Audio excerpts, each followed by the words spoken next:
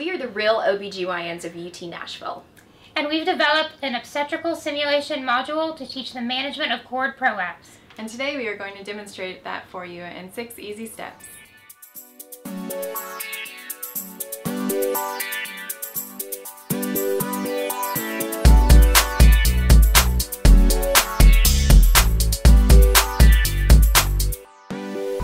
When it comes to a vaginal delivery, you've got to pit it to get it.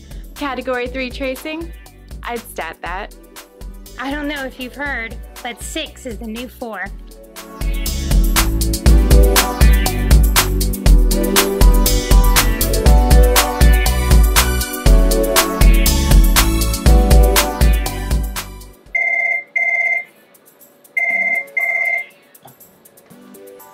Labor is fun.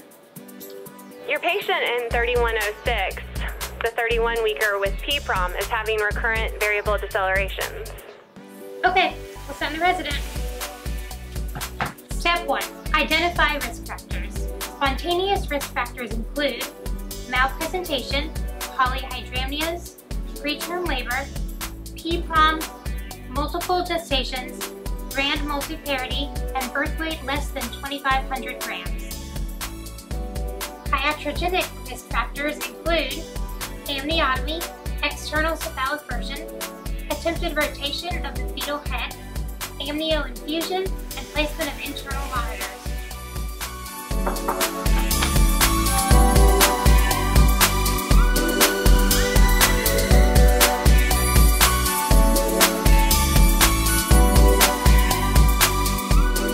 Step 2. Recognize the cord prolapse. I think I'm feeling the cord as the presenting part.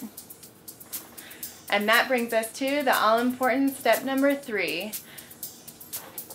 Leave your hand in place and elevate the fetal presenting part off the cord.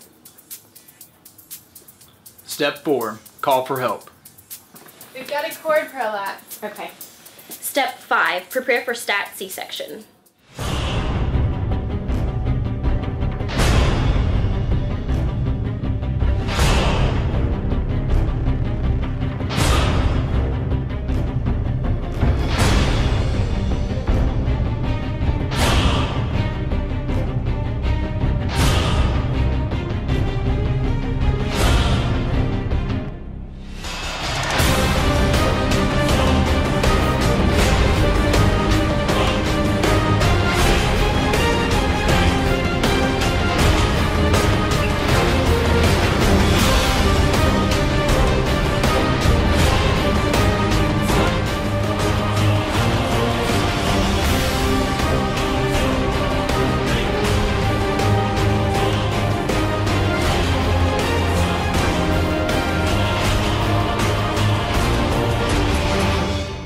Step six, debrief.